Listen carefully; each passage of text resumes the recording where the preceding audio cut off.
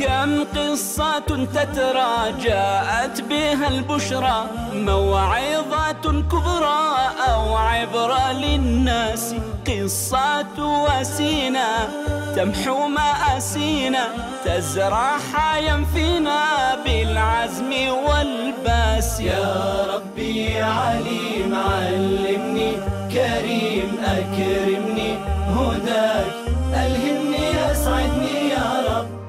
قصة آية سمو غاية رب البرايا. اشرح بها قلبي يا رب. بسم الله الرحمن الرحيم الحمد لله والصلاة والسلام على رسوله وعلى آله وصحبه أما بعد. كتاب الله عز وجل عظيم بشرط تدبره اخشع أنصت استمع قف عنده لا تستعجل بالقراءة. حاول كل آية تعرف مناسبتها علاقتها بالآيات التي بعدها بالآيات التي قبلها. كل هذا شيء عظيم والناس درجات في فهم القرآن. اسمع لهذه السورة كيف ابتدأها الله عز وجل. الصحابة لما ذهبوا وقد وعدهم النبي صلى الله عليه وآله وسلم بالعمرة وقد اشتاقوا إلى بيت الله الحرام.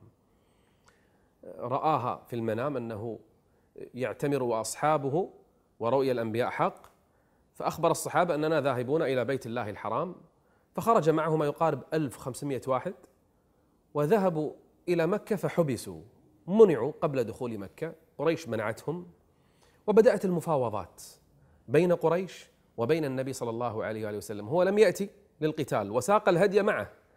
هو جاء للعمرة ليطوف بالبيت ويفترض أن أهل قريش يسمحوا له ولكنهم لخبثهم وعنادهم منعوه. وبدأت المفاوضات حتى وصل النبي صلى الله عليه وسلم مع المشركين إلى صلح معهم. سمي صلح الحديبية للمكان الذي كانوا فيه. وكان مكان الماء فيه قليل وأصيب الصحابة بالعطش في ذلك المكان. فجاء النبي صلى الله عليه وسلم بركوة فيها ماء ووضع يده فانفجر الماء والعين انفجرت وسقي الناس كلهم من معجزاته عليه الصلاة والسلام. فجاء سهيل بن عمرو وصارت المفاوضات مع رسول الله صلى الله عليه وسلم فقبل النبي بالصلح. يعني شنو؟ يعني ما في عمرة. ما يصير إحنا سقنا الهدي وحنا لابسين الإحرام وحنا رايحين نعتمر. كيف ما في عمرة؟ ما في عمرة. طيب مو بس كذي. السنة القادمة نعتمر مو هذه السنة. طيب وبعد؟ بعد إذا أحد منا ارتد يذهب لمكة يقبل لكن لو احد من أهل أهل مكة أسلم وجانا للمدينة ما نقبله. يعني في ظاهر الصلح فيه غبن فيه ظلم للمؤمنين ومع هذا وقع عليه عليه الصلاة والسلام. عمر جاء فقال يا رسول الله ألسنا على الحق؟ قال نعم. أليسوا على الباطل؟ قال بلى. قال إذا فلم نرضى بالدنية من ديننا؟ قال أنا رسول الله. يعني هذا الأمر وحي من الله عز وجل. اسمع واطع يا عمر. عمر يعني في قلبه أن نقدر عليهم. لو قتال نقدر نفتح مكة. ولو نبي عمره نقدر نعتمر غصبا عليهم. وعلى الأقل الصلح ما نقبل بهذه الإهانة في الصلح. عمر يراها كظاهرها. فذهب إلى أبي بكر قال يا أبا بكر ألسنا على الحق؟ قال نعم. قال أليسوا على الباطل؟ قال بلى. قال بلى في الأولى والثانية. فقال له فلم نرضى بالدنية من ديننا؟ فقال إنه رسول الله. إلزم غرسه يا عمر. اللي يقوله صح خلاص. طبعا الصحابة كانوا في ضيق وهم حتى أنهم ما تحللوا.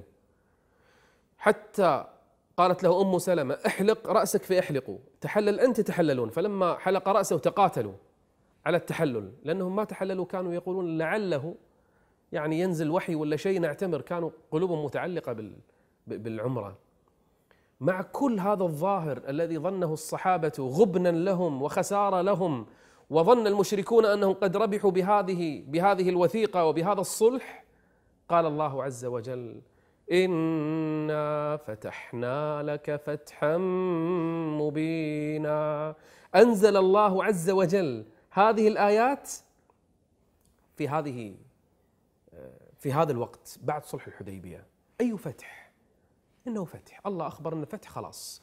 إنا فتحنا لك فتحا مبينا ليغفر لك الله ما تقدم من ذنبك وما تأخر ويتم نعمته عليك ويهديك صراطا مستقيما وينصرك الله. وينصرك الله نصرا عزيزا.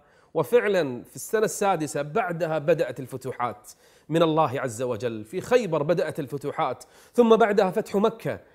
بل, بل, هم الذين أرادوا يعني ترجوا النبي صلى الله عليه وسلم أن يبطلوا هذا العهد وهذا الميثاق. وفعلا تسبب هذا هذا الصلح بفتح مكة بعده بسنتين فقط. كان فتحا عظيما من الله عز وجل.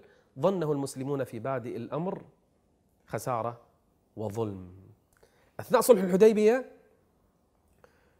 عثمان رضي الله عنه قبل ما يوقعوا العهد عثمان النبي صلى الله عليه وسلم أرسله إلى مكة.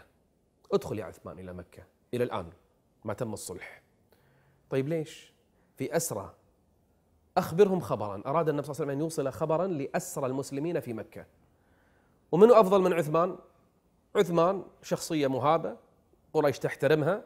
وعنده ناس كثيرون من أهل مكة من أقربائه. دخل عثمان لكن يعني المهمة كانت صعبة وخطرة.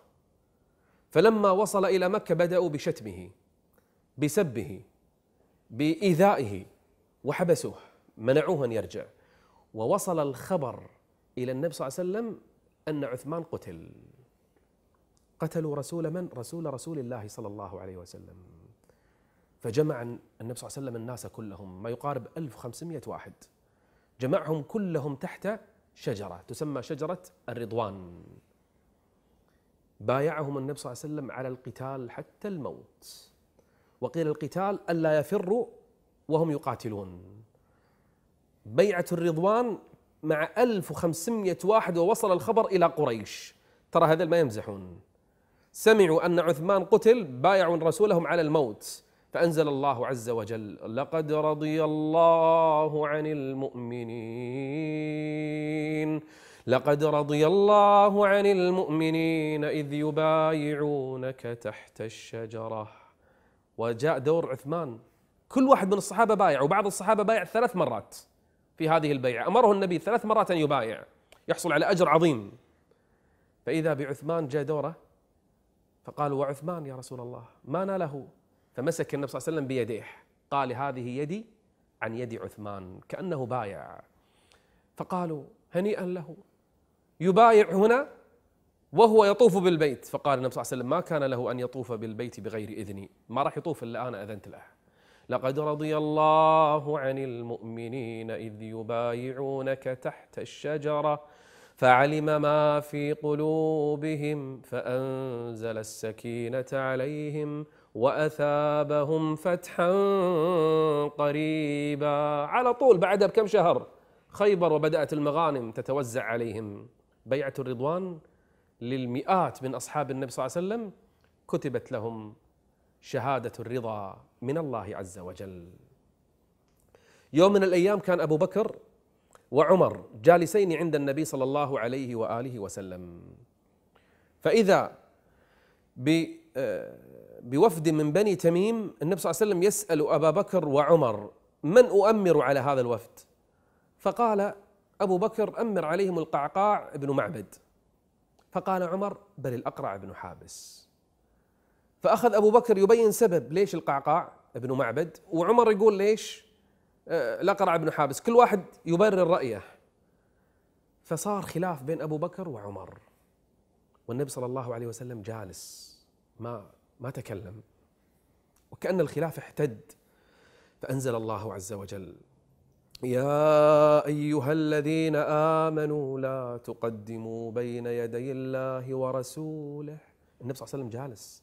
كيف تختلفان؟ خلاص. أرجعوا الأمر إذا تنازعتم إلى من؟ إلى رسول الله.